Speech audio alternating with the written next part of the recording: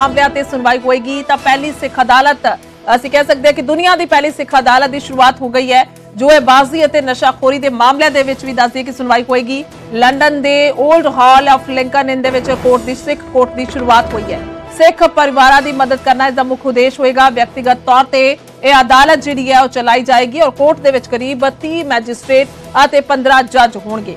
Court 'ਚ ਜ਼ਿਆਦਾਤਰ ਮਹਿਲਾ ਮੈਜਿਸਟ੍ਰੇਟ ਹੋਣਗੇ। ਖਾਸ ਤੌਰ ਤੇ ਦੱਸ ਦਈਏ ਕਿ ਕੁਝ ਸਿੱਖ ਵਕੀਲਾਂ ਨੇ ਲੰਡਨ ਦੇ ਲਿੰਕਨ ਇਨ ਦੇ 올ਡ ਹਾਲ ਦੇ ਵਿੱਚ ਇਸ ਇੱਕ ਕੋਰਟ ਦੀ ਸ਼ੁਰੂਆਤ ਕੀਤੀ ਹੈ। ਅਦਾਲਤ ਸਿਵਲ ਅਤੇ ਫੈਮਿਲੀ ਮਾਮਲਿਆਂ ਬਾਰੇ ਸੰਵੇਦਨਸ਼ੀਲਤਾ ਦੇ ਨਾਲ ਨਜਿੱਠਣ ਦੇ ਲਈ ਇੱਕ ਬਦਲਵੇਂ ਵਿਵਾਦ ਨਿਪਟਾਰਾ ਫਾਰਮ ਦੇ ਵਜੋਂ ਇਹ ਕੰਮ ਕਰੇਗੀ। ਇਹ ਅਦਾਲਤ ਬ੍ਰਿਟੇਨ ਦੀ ਨਿਆਂ ਪ੍ਰਣਾਲੀ ਦੇ ਵਿੱਚ ਧਰਮ ਨਿਰਪੱਖ ਜੱਜਾਂ ਦੇ ਵਿੱਚ ਧਰਮ ਦੀਆਂ ਸੰਵੇਦਨਸ਼ੀਲਤਾ ਦੇ ਨਾਲ ਨਜਿੱਠਣ ਦੇ ਲਈ ਮੁਹਾਰਤ ਦੀ ਘਾਟ ਤੇ ਦਾਅਵਿਆਂ ਦੇ ਵਿਚਕਾਰ ਸ਼ੁਰੂ ਕੀਤੀ ਗਈ ਹੈ। ਹਾਲਾਂਕਿ ਅਦਾਲਤ ਦੇ ਸੰਸਥਾਪਕਾਂ ਵਿੱਚੋਂ ਇੱਕ ਅਤੇ ਲੰਡਨ ਦੇ ਵਿੱਚ ਬੈਰਿਸਟਰ ਬਲਦੀਪ ਸਿੰਘ 32 ਸਾਲ ਅ, 33 ਸਾਲ ਉਮਰ ਹੈ। ਉਹਨਾਂ ਨੇ ਕਿਹਾ ਹੈ ਕਿ ਇਹ ਕੋਈ ਧਾਰਮਿਕ ਟ੍ਰਿਬਿਊਨਲ ਨਹੀਂ ਹੈ। ਔਰ ਜ਼ਿਕਰਯੋਗ ਇਹ ਵੀ ਹੈ ਕਿ ਇਸਲਾਮ ਅਤੇ ਯਹੂਦੀ ਧਰਮ ਦੇ ਉਲਟ ਸਿੱਖ ਧਰਮ ਦਾ ਆਪਣਾ ਕਾਨੂੰਨੀ ਕੋਡ ਨਹੀਂ ਹੈ। ਤਾਂ ਬਲਦੀਪ ਸਿੰਘ ਨੇ ਵੀ ਕਿਹਾ ਕਿ ਇਸ ਅਦਾਲਤ ਦਾ ਉਦੇਸ਼ ਸਿੱਖ ਸਿਧਾਂਤਾਂ ਦੇ ਅਨੁਸਾਰ ਸੰਘਰਸ਼ ਅਤੇ ਵਿਵਾਦਾਂ ਦੇ ਨਾਲ ਨਜਿੱਠਣ ਦੇ ਲਈ ਸਿੱਖ ਪਰਿਵਾਰਾਂ ਦੀ ਜ਼ਰੂਰਤ ਦੇ ਸਮੇਂ ਸਹਾਇਤਾ ਕਰਨਾ ਹੋਏਗਾ। ਤਾਂ ਸਿੱਖ ਅਦਾਲਤ ਦੁਨੀਆ ਦੀ ਪਹਿਲੀ ਸਿੱਖ ਅਦਾਲਤ ਬ੍ਰਿਟੇਨ ਦੇ ਵਿੱਚ ਸ਼ੁਰੂ ਹੋਈ।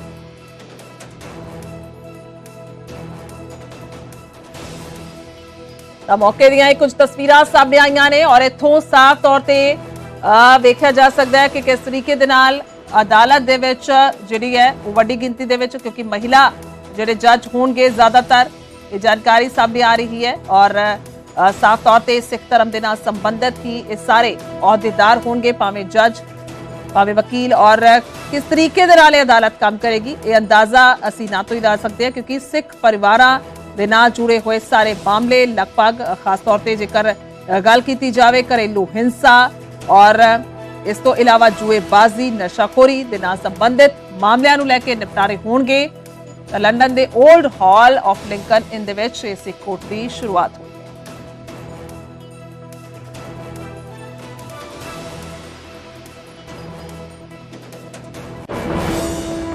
ਅਗਲੀ ਖਬਰ ਪਾਕਿਸਤਾਨ ਤੋਂ ਹੈ। ਅੱਧੇ 버ਗਰ ਦੇ ਲਈ ਦੋਸਤ ਦਾ ਕਤਲ ਕਰ ਦਿੱਤਾ ਗਿਆ। ਪਾਕਿਸਤਾਨ ਦੇ ਕਰਾਚੀ ਦੇ ਵਿੱਚ 17 ਸਾਲ ਦੇ ਨੌਜਵਾਨ ਦਾ ਕਤਲ ਕੀਤਾ ਗਿਆ। ਦੋਸਤ ਨੇ ਗੋਲੀਆਂ ਮਾਰ ਕੇ ਮੌਤ ਦੇ ਘਾਟ ਉਤਾਰ ਦਿੱਤਾ। ਨੌਜਵਾਨ ਨੇ ਗਰਲਫ੍ਰੈਂਡ ਦੇ ਲਈ ਦੱਸਦੇ ਕਿ 버ਗਰ ਮੰਗਵਾਇਆ ਸੀ। ਦੋਸਤ ਦੇ ਵੱਲੋਂ ਅੱਧਾ 버ਗਰ ਖਾਣ ਤੇ ਉਸ ਦਾ ਕਤਲ ਕਰ ਦਿੱਤਾ ਗਿਆ। ਹੈਰਾਨੀਜਨਕ ਮਾਮਲਾ ਹੈ। ਸਿਕਿਉਰਿਟੀ ਗਾਰਡ ਦੀ ਬੰਦੂਕ ਦੇ ਨਾਲ ਵਾਰਦਾਤ ਨੂੰ ਅੰਜਾਮ ਦਿੱਤਾ ਗਿਆ ਔਰ ਦਨਿਆਲ ਮੀਰ ਬਾਹਰ ਵਜੋਂ ਇਹ ਕਾਤਲ ਦੀ ਜਿਹੜੀ ਹੈ, ਉਹ ਪਛਾਣ ਹੋਈ ਹੈ। ਤਾਂ ਰਿਟਾਇਰਡ ਪੁਲਿਸ ਅਫਸਰ ਦਾ ਬੇਟਾ ਦੱਸਿਆ ਜਾ ਰਿਹਾ ਹੈ ਕਾਤਲ।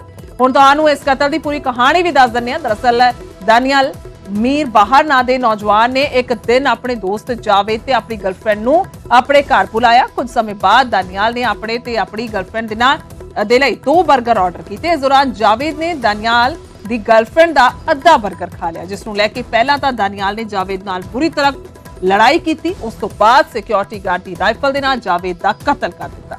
ਮ੍ਰਿਤਕ ਜਾਵੇਦ ਸੈਸ਼ਨ ਜੱਜ ਦਾ ਬੇਟਾ ਦੱਸਿਆ ਜਾ ਰਿਹਾ ਹੈ। ਫਿਲਹਾਲ ਕਾਤਲ ਪੁਲਿਸ ਦੀ ਗ੍ਰਿਫਤ ਦੇ ਵਿੱਚ ਹੈ। 3 ਮਹੀਨੇ ਬਾਅਦ ਮੌਤ ਦੇ ਕਾਰਨਾਂ ਬਾਰੇ ਹੁਣੇ ਖੁਲਾਸਾ ਹੋਇਆ ਹੈ। 8 ਫਰਵਰੀ 2024 ਨੂੰ ਇਹ ਸਾਰੀ ਵਾਰਦਾਤ ਹੋਈ ਸੀ, ਪਰ 3 ਮਹੀਨੇ ਬਾਅਦ ਜਦੋਂ ਇਹ ਖੁਲਾਸਾ ਹੋਇਆ ਕਿ ਇੱਕ 버ਗਰ ਜਿਹੜਾ ਹੈ, ਉਹ ਇਹ ਪੂਰੇ ਕਤਲ ਦੀ ਵਜ੍ਹਾ ਬਣੀ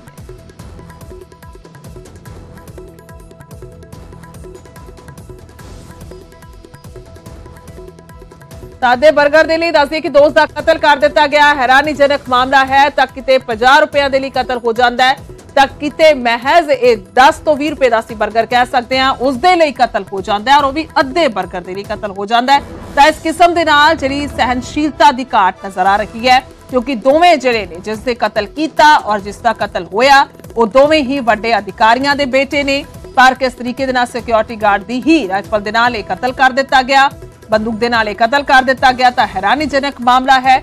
ਔਰ ਇੱਥੇ 3 ਮਹੀਨੇ ਬਾਅਦ ਇਹ ਮੌਤ ਦੇ ਕਾਰਨਾਂ ਦਾ ਖੁਲਾਸਾ ਹੋਇਆ ਹੈ ਕਿ ਆਖਿਰਕਾਰ ਵਜ੍ਹਾ ਕੀ ਬਣੀ ਸੀ ਕਿ 8 ਫਰਵਰੀ 2024 ਨੂੰ ਜਿਹੜਾ ਕਤਲ ਕੀਤਾ ਗਿਆ ਤਾਂ ਹੁਣ ਇਹ ਹੈਰਾਨੀਜਨਕ ਖੁਲਾਸੇ ਸਾਹਮਣੇ ਆਏ ਨੇ ਕਿ ਇਸ ਕਿਸਮ ਦੇ ਨਾਲ ਘਰ ਦੇ ਵਿੱਚ ਬੈਠਿਆਂ ਹੀ ਹੱਸੀ ਅ, ਖੁਸ਼ੀ ਅਸੀਂ ਕਹਿ ਸਕਦੇ ਹਾਂ ਕਿ 버ਗਰ ਖਾ ਰਹੇ ਸਨ ਪਾਰਟੀ ਕਰ ਰਹੇ ਸਨ ਪਰ ਜਦੋਂ ਅੱਧਾ 버ਗਰ ਗਰਲਫ੍ਰੈਂਡ ਦਾ ਦੂਜੇ ਉਸਦੇ ਦੋਸਤ ਨੇ ਖਾ ਲਿਆ ਤਾਂ ਫਿਰ ਇੰਨਾ ਜ਼ਿਆਦਾ ਗੁੱਸਾ ਹਾਵੀ ਹੋਇਆ ਕਿ ਉਸਨੇ ਕਤਲ ਕਰ ਦਿੱਤਾ। ਦਾਨਿਆਲ ਨੇ ਆਪਣੇ ਹੀ ਦੋਸਤ ਦਾ, ਜਾਵੇਦ ਦਾ ਕਤਲ ਕਰ ਦਿੱਤਾ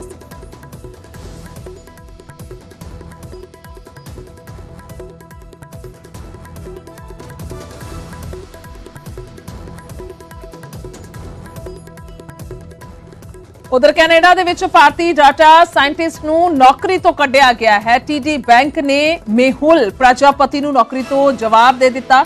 ਸੋਸ਼ਲ ਮੀਡੀਆ ਤੇ ਵਾਇਰਲ ਹੋਣ ਤੋਂ ਬਾਅਦ ਦੱਸ ਦਈਏ ਕਿ ਐਕਸ਼ਨ ਲਿਆ ਗਿਆ ਹੈ।